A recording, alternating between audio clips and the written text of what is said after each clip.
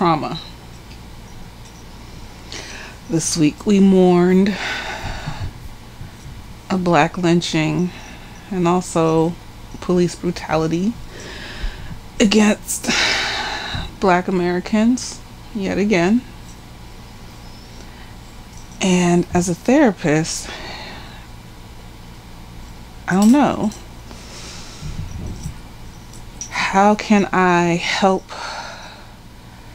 my clients protect themselves against something that is almost inevitable at this point? Ahmaud Arbery and Breonna Taylor and all the names of all the people, all the ancestors. And then it makes me think what is black trauma? Well, it's epigenetic, it's passed down through the generations. Those visceral reactions you get when you see somebody in a Klan's mask at the grocery store in San Diego, or when a white person says the N word and you don't necessarily know why you're mad, why it bothers you, but it does. What do you say when your client tells you that black death is inevitable, like cancer or getting hit by a car? So live your life to the fullest and don't focus on the negativity. And if you die, you die. Should we be in a situation, in a place where we see black death by racism and by police brutality and hatred as just an inevitable thing that we've been fighting for ever since Columbus.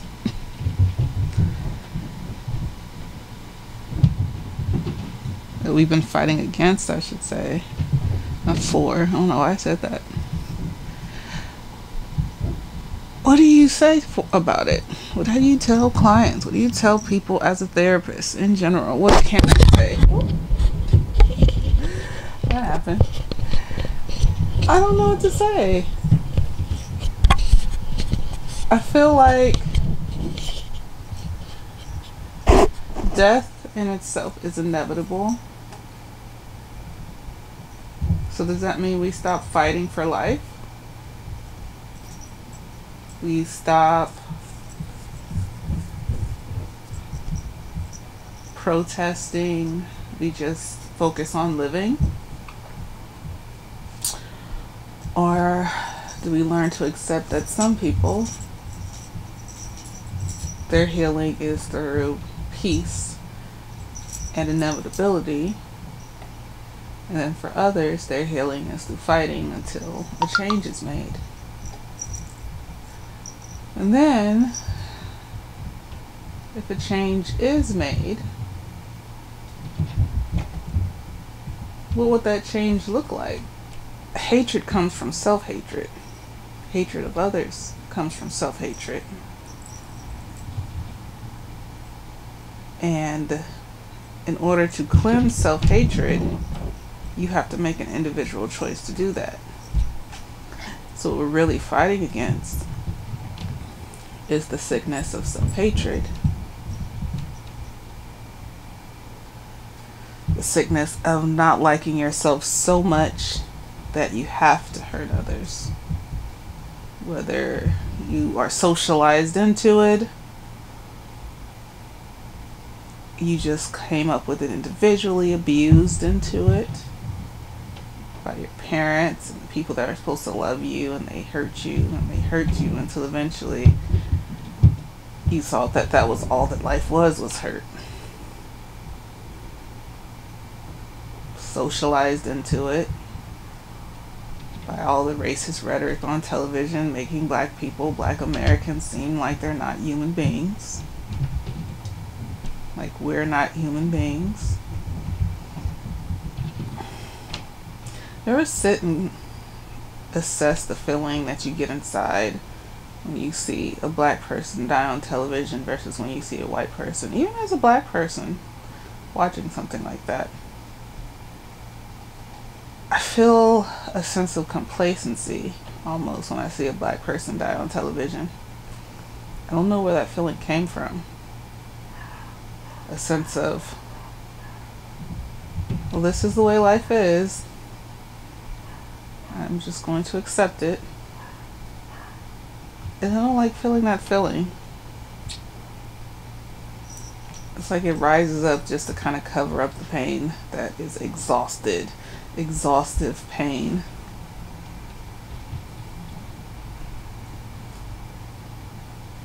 And then, like I said, as a therapist, what do you tell your clients? What do I tell my clients when they're afraid of something that's real?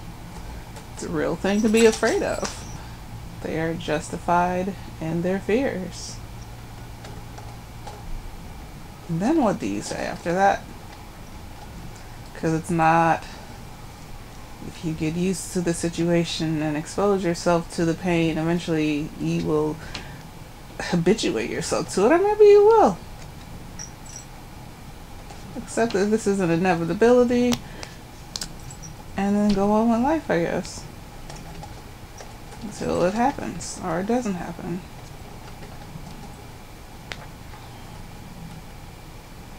I don't know. Do you tell this? Do you tell them the same thing you tell children when you're preparing them to leave the house and face the world? Come up against police officer, keep your hands visible, Keep your tone calm. Don't make eye contact. Follow the officer's directions. Don't talk too loud.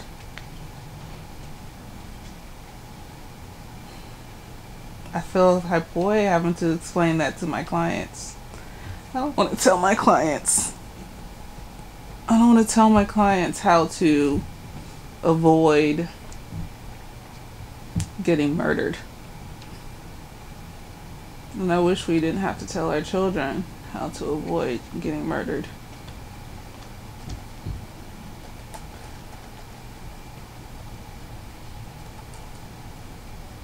What do you do when you are a race that everybody takes from but nobody sees? How do you calm people down and help them cherish themselves? Every day we're continued to be told that we're not good enough. What nice words can you lay over this pain to numb it a little bit? Because you know it's not going to go away. To not be seen by other people of color, to be used as caricatures and, you know, stereotypes and this is what black people are, this is what black Americans do, and this is what black Americans say, and all this other stuff.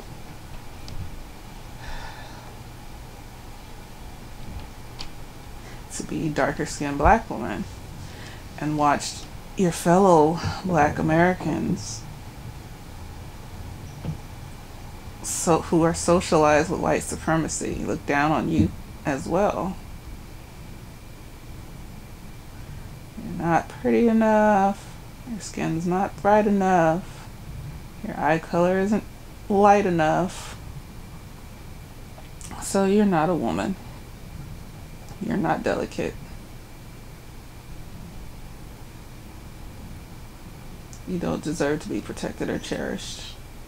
And if you say anything about it, we'll gaslight you into believing it's your fault and you shouldn't be complaining. Am I not a woman? Are black men not men?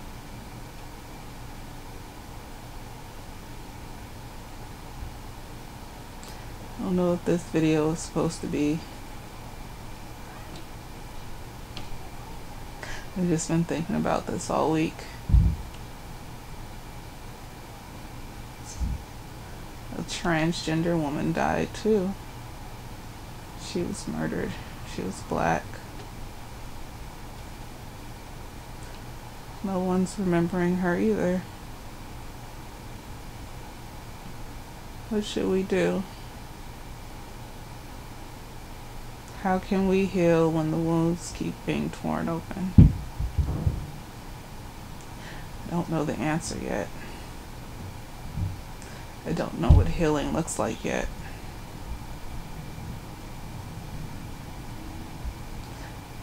I don't know if healing looks like complacency. I don't know if healing looks like inevitability.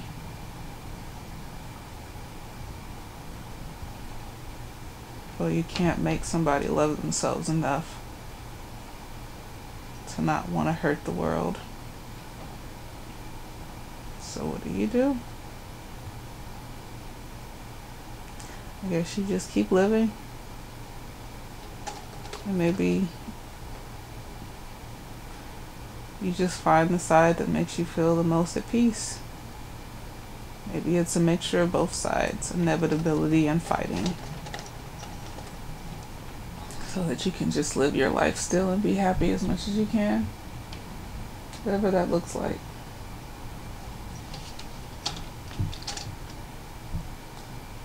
God bless the lost. May be found one day. Later days.